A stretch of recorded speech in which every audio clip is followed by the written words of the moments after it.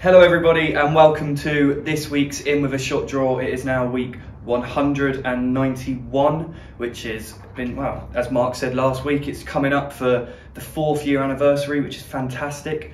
This week there is a £293.50 up for grabs, and that is a total of £56,579, which has been raised in total.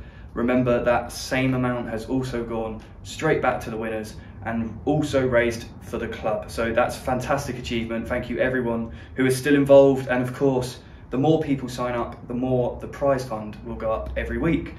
Um, we also have, courtesy of our sponsors Oasis Electric, we have a ticket to the Dagenham game to give away today. Uh, that will come out of the £5 draw, so we'll do that after the £5 draw. Uh, there is £126 in the £2 draw and there is £167.50 in the £5 draw. So we'll get on with that. Here's the £2 draw, give it a nice big shake. So we have number 34.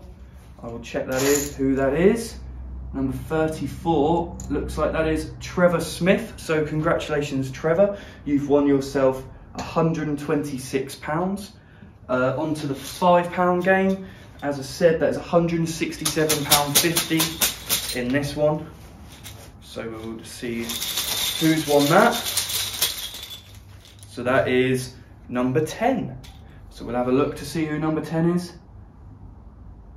Number 10 is a red number. Now, obviously, we keep those in because we try and remind people that you have to re renew. If you if you don't renew, you're not in with a shot of winning the prize fund. So we'll draw another one out. Number 23. Number 23 is Tony Deacon. Congratulations, Tony. You've won yourself £167.50.